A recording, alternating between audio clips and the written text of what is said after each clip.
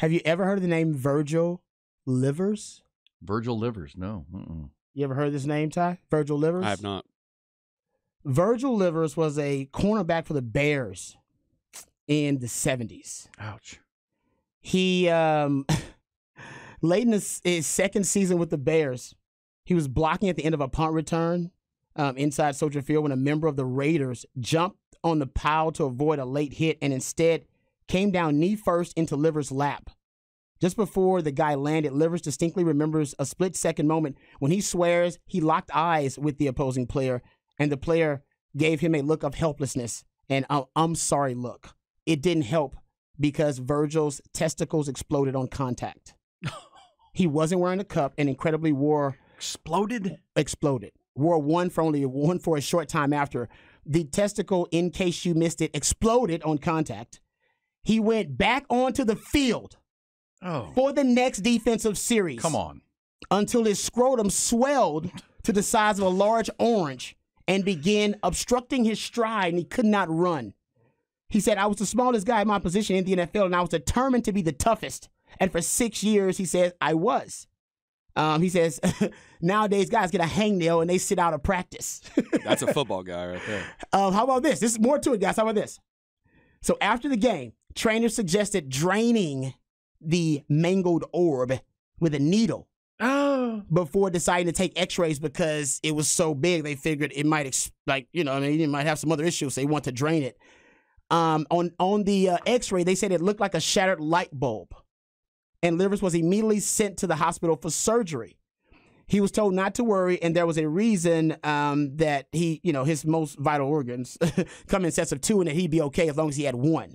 As he, my man KD, remember? Virgil Yeah, you can have one. As he remembers it, Livers says he drove himself to the ER because news that he was injured uh, and needed surgery sent his wife, Linda, who was nine months pregnant at the time, into labor. Oh, no. When they told her her man stuff had exploded, she just went, she just lost it and went into labor. She was so freaked out.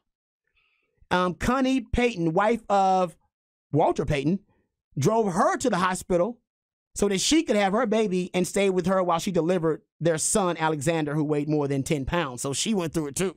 Um, uh, and after all said and done, uh, Livers went on to play like three more years in the league and had a daughter That makes- after his testicles Modern exploded. medicine. This says, please cut Rod's mic. Please cut Rod's mic. we were talking about it. I'm just telling you guys. I'm like lightheaded now. Me that I'm a little story, woozy. that's Woo. that's inspiration for people who want to. I, I kind of tuned out as soon as you said exploded. exploded. But he drove himself to the high, went back on the That's field a to tough play dude right there. after it happened, and Why then have I drove never heard himself of to the Virgil hospital. Livers? I've heard of like Ronnie Lott cutting his own finger off. No, the mo the toughest man in the history of the NFL is Virgil Livers, ladies and gentlemen. It is not Ronnie Lott. Ronnie Lott, that one little finger, this dude went back on the field after his testicle exploded and then drove himself to the ER. That's a new definition for big balls right there. Uh, singular one. yeah, big ball. Yeah.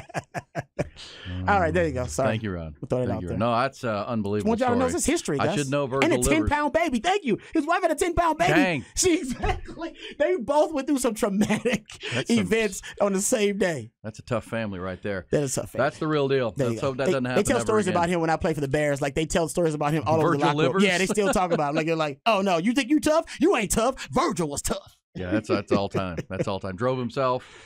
Yeah. Yes. Sorry, had to just had to get that out there. Anyway, I told the story on the show recently, but yes. I, I do have a buddy a couple months ago who broke his junk. he broke the jump Broke it.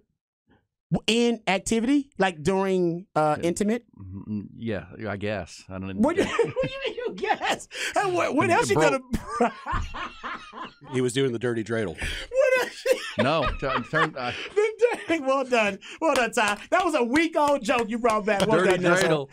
Well done. Hold up, hold up. He You- broke it. And he didn't tell you the story. Now he tries to say it wasn't during it. He just rolled over and it was the morning and he. Oh, really? yeah, I don't believe it. yeah, he rolled over. I- all I ain't buying that I ain't story. buying that. I ain't buying that. Because Dennis Rodman has done it three times, I've heard that with uh, and he said he was uh, every Cameron, time he was, Carmen Electra. yeah he did it and every time he was doing something like really exotic in in the bedroom, like he was jumping, Trying new doing, things. Doing know? that Kama Sutra, some kind of crazy stuff. Uh, so I wonder, yeah. Anyway, No, yeah, and he's someone still, says ball still don't on- lie. well done. Well, no, listen.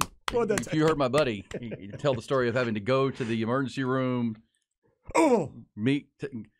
He, the funniest part of that, Oh. there is no funny part of that. no, it's not. But the somewhat humorous part is when he got up there, he got up to the lady and was like, "Hey," he was trying to whisper to her. She's like, he's like, I broke my. What's your issue, sir? And Please, she sir, speak "What? up. You broke what? I'd much rather have that happen than the, the Virgil livers. Agreed. I, I, a hundred times over. Agreed. yeah, that's yeah. Oh, they're still- terrible. I agree. I'd rather have my junk like break than have. Yeah, because you can at least you can. Oh yeah, you, you can, can fix, fix that. Yeah, yeah, you can fix that. That didn't sound fun though. There No, was some neither one of them is going ideal. on. I guess that's one of those hypotheticals. Which or would you rather? Would you rather have your your testicle explode, or would you rather your junk break? Junk break. Uh, yeah. Junk Uh, break. I don't know. That's a I've good. heard Would you rather? It's- no, it's terrible. Uh, neither, but uh, don't do either. But yes, if you've heard, if you had to listen to him tell the story, and he's still down. He's been down two months. Oh, I was still. oh, what does he tell his, his? What does he tell his boss at work? Like, why are you out? He hadn't stopped working. he ain't not working. Good for him. Well, because you have to get stitches, and then you Yes. can't get excited. Oh, for- you can't. That's true. Yeah, but that morning thing just happened. I You know, can't I- turn that off. That's yeah, that's was thinking. nature. That's Like, nature. How does that work? Uh, Mm. uh, baseball, baseball, baseball. Get something to put in your. Ah! You got- as a as a man, every man should know how to distract himself at a certain age. Like, Virgil you're livers. right. Baseball, baseball, baseball. That's too much, y'all. Great. That's too much. But he's he's hopefully doing better. Um, I hope he is too. Wow. Sorry, people. I know it's traumatic stories we're telling now. I've never known anybody that broke their junk though. That's interesting. Was he? Your, I never had either until I met him. I just heard about it and I was like, Dennis Rodman is crazy. He's done it three times. But there you go. Now we know everyday Joe don't, who's done it. don't do that.